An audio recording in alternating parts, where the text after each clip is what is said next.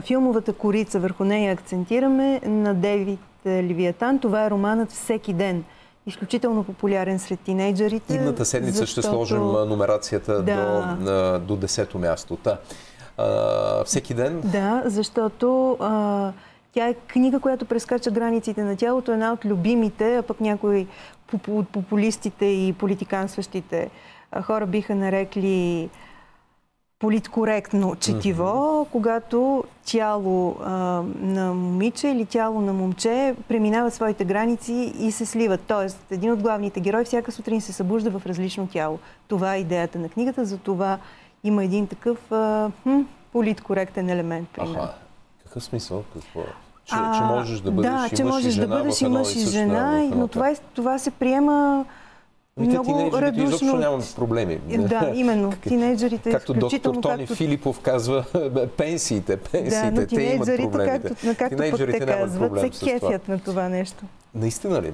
Изр... Абсолютно. А, на кое място беше тази книга? Аз не Тя е на десето място, но mm-hmm. филма, филма по нея, защото има филм, е много популярен, така че всеки ден, и особено автора Девид Левиатан, сред тях е много популярен. Добре.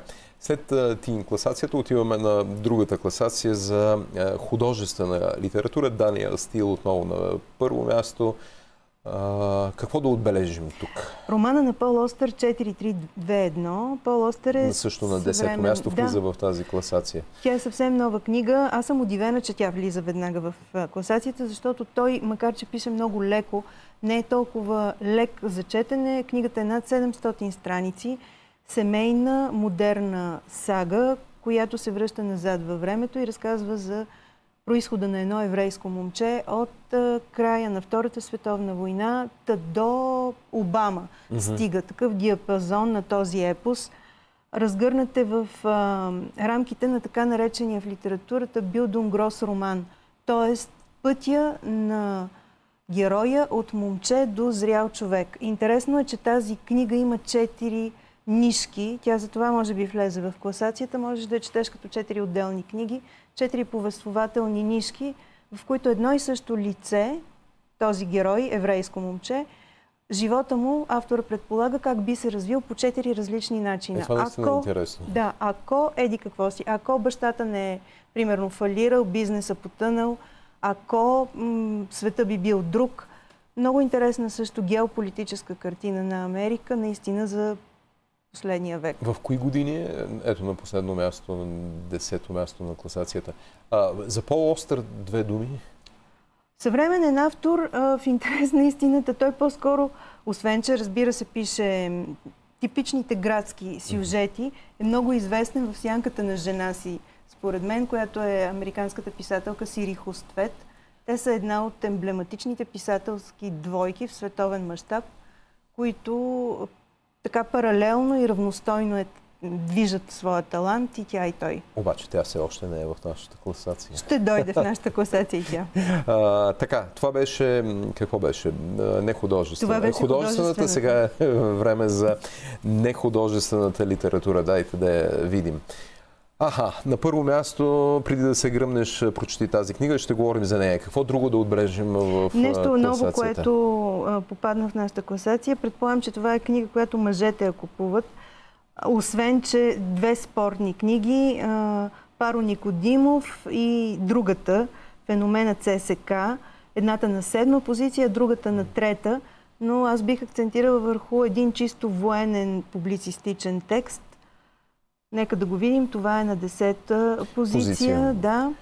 Вили Кубик, разузнавач на танковите части, както можем да предположим от заглавието, става дума за мемуарна книга на един борден стрелец, както е представен в анонса, на разузнавателен бронеавтомобил. Това uh-huh. вече ти можеш да ми го преведеш. Мога, Предполагам, мога, да. че мъжете а, знаят значи, за какво става борде, дума. Това е, както се казва в танковите войски, мерача. Има мерач, парач, да. мерач, пълнач, механик, водач и командир в Този танковете. Да. Вили Кубик, той е преживял а, източния фронт и книгата е а, унагледена. Значи действието mm-hmm. стига до 1941 година. Унагледил е своя мемуар с а, над 150 фотографии, които разказват... Какъв е Кубик? Германски а, танкист мерач, всъщност. И основното тук е, че той разказва за бойните действия на разузнавателните автоподразделения. Това е което мога да кажа за тази книга. Когато я прочета в детайли, ще навляза Ще взема да си я купя, да видим а, какво са какво са мислили, какво са говорили тогава в онези толкова далечни времена. И стигаме до един друг германец. Ето е книгата. Преди да се гръбнеш, прочети тази книга на Ян Ван Хелсинг. Кой е първо Хелсинг? Каква литература е това? В момента е на 51 години, роден е в Западна Германия, в заможно семейство, журналист, изключително популярен, световно име, а в Европа изключително четен. Да не говорим за България, където беше тук на посещение, заедно с а, друг автор, с който пишеха паралелно, Штефан Ердман, през 2010 година и предизвика стълпотворения в книжарници Хеликон.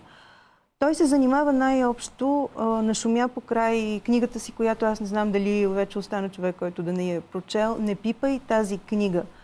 А, ние говорихме, май. Да, ние сме говорили а, за тази книга, в която, за Не пипай тази книга, в която той разглежда един космически закон, най-общо, а, една матрица, развива теорията, че съществува матрица или хелиографско копие, което идва от Атлантите.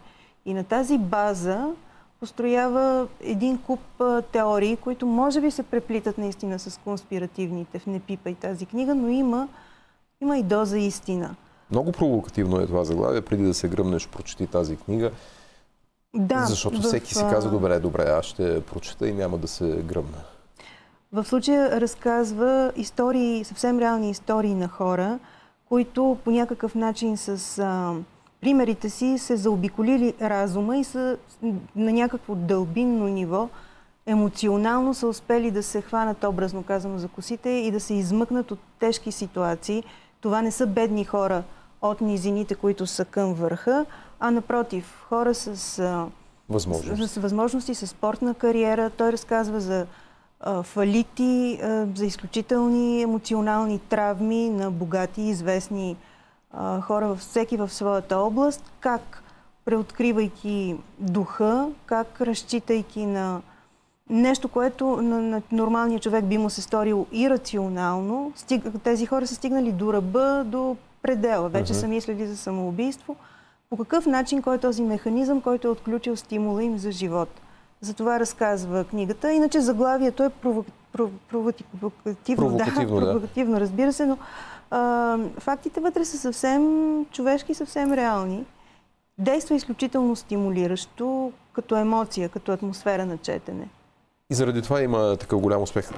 Изведнъж да се качи на първо място. Това, това е някаква, някаква диагноза за, за хората. Нали? Не само за българите, изобщо за европейците. Ван Хелзинг развива теорията, че след той го непрекъснато твърди в тази книга. След 2012, когато някой предрече, че ще бъде края на света, има едно ускоряване на времето, едно ускоряване на битието и на съзнанието. Това е заложено в тази книга.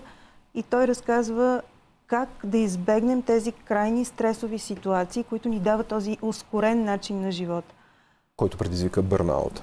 Именно. Впрочем, можем и друг път да говорим и за други интересни книги, които е, препоръчват начини за това човек да, да се бори срещу това прегряване. Нали? Това е голяма тема. Да, тук прегряването се лекува с една много целенасочена, методична духовност. Именно за духовни практики става дума.